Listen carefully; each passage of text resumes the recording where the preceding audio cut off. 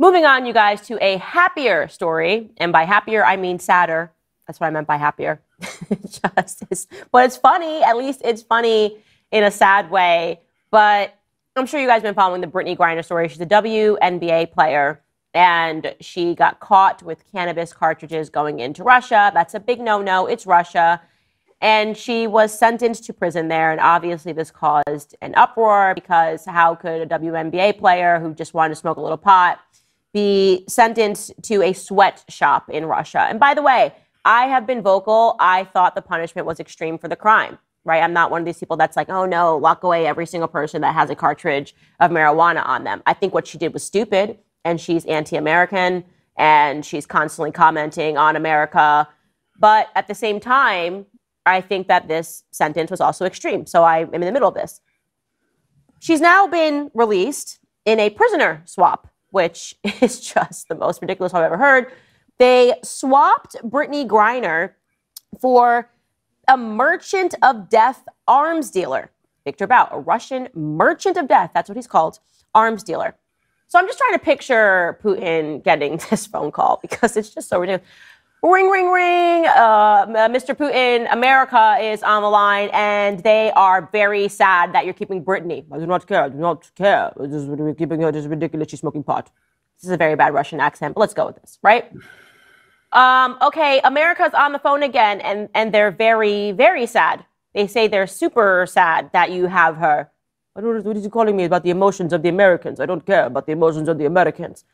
Okay, well, uh, the activists in America say they're super de duper sad and they're wanting to know if they gave you your arms dealer, who is referred to as the merchant of death, would you give them back their pot smoking WNBA player? Is this a prank? No, no, it's it's just Western philosophy. It's just America.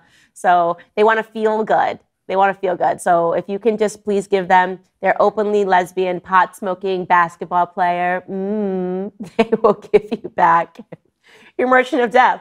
Because I don't know, it's America and it's 2022. And so this makes sense in 2022, where everything is rainbows and sprinkles and it's all about how we feel, not the practicality of what's taking place, which is that nowhere ever in the history of the world would any sane individual say it's a good idea to swap somebody that is entitled the merchant of death and is an arms dealer for a possible WNBA player. Two things can be true at once. Her sentence was harsh, but also, if we're going to get her back, it shouldn't come at this cost, right? That's the answer here. And just in case you didn't realize how patently ridiculous the toddlers and tiaras that are running our nation are, Joe Biden, who can barely speak at this point, had these words to share about Brittney Griner's release. Brittney is uh, is an incomparable athlete. Okay, let's stop right there. I'm I'm sorry. Did he did he just say Brittney? Yeah, I was in the. Oh man, oh man, Candace. I do. I I do. I do find Candace very entertaining.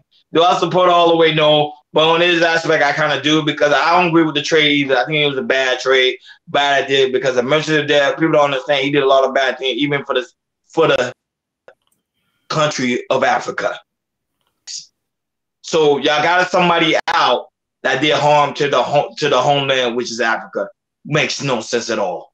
But we live in a, we live in a society where everybody's saying about what's trending, who's hot. Let's get her out. I agree. Let's get her out, but let's get her out the right way, not this type of way. This to me was pathetic. I think this is the worst deal that has ever been done. And I'm I'm like I'm kind of agree with Trump too. I think it was very unpatriotic.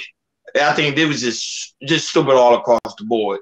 So if I'm glad that she's home, I'm glad that she's safe because she's hey, over there in Russia. They treat her like crap.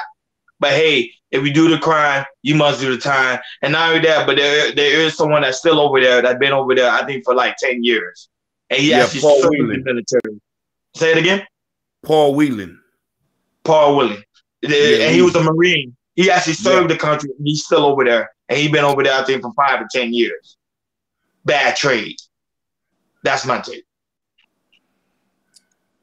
Hey, man if Joe, you would have put Paul Will, Will on there with Brittney Griner, okay. But I kind of agree with the, you know, Ronnie. You know, this is, you know, I'm, I'm glad that Brittney's going home. You know, like I said, our, our, black sister, she's home, and you know, she gets to, you know, play the WWA. I get it, but in into that sense, you know, just to get one American back, not getting two, you know, I think that was a bad deal as well, especially the merchants of that. Even though, you know, he had, even though he had ten years left serving, and I believe he was going to be on parole in the next two or three years or so, you could have found a way to get you know get Paul Whelan back as well. You should have fought harder. You should have did some type of um, tactic or something from Joe, but he couldn't. He, he couldn't do it. I think Joe was trying to fall for, for the media, especially you know for the voters. Like you know for the voters in, in two years from now when he gonna get reelected, and I guess he was feeling the pressure of that. So because if he if he wasn't gonna um, get her home, you know he was gonna lose the voters. And I guess somebody told him about that, and it was like, okay, let's just you know pull the trigger. Let's just get Brittney Brittney Griner home and all that type of stuff. Uh, but then again, you know, I mean, I, am like I said, I'm, I'm glad that she's home. I'm glad that she's safe. The one thing I'm I don't like about it, and I and they going I know they're gonna do this. They're gonna make her as, as her as being patriotic. And I don't agree with that being patriotic because there's stuff from the past that that she felt oppressed here in America, and she, you know, and and, and technically that she don't, you know, people think that she don't like America. Now that you know, she, when she went to Russia last year, she's been on there a year, got locked up, you know, and then got sentenced and everything. You know, I, I know that definitely changed her mind, all that type of stuff. But her being patriotic, I definitely disagree because she didn't be patriotic because she, she broke the law there, and you know she got sentenced. And, and, at the time, she she was going to pay the time. You know, after we brought her back home.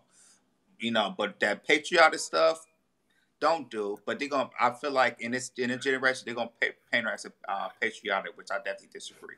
That's my take. Um, there's a term called. There's a term that you might hear people call war games in war games, this is the bad, this worstest move we had ever made. Worst, worst, worstest move I had ever made.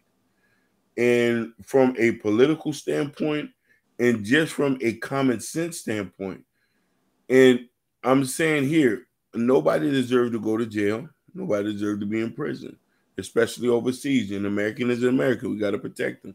But when we're playing war games here, we're in the midst because we're playing we're, we're playing um Kobe and Shaq right now with Ukraine to Russia. And the fact of the matter is you just released and gave them a Dennis Rodman, one of the most offensive person in the world. Listen here.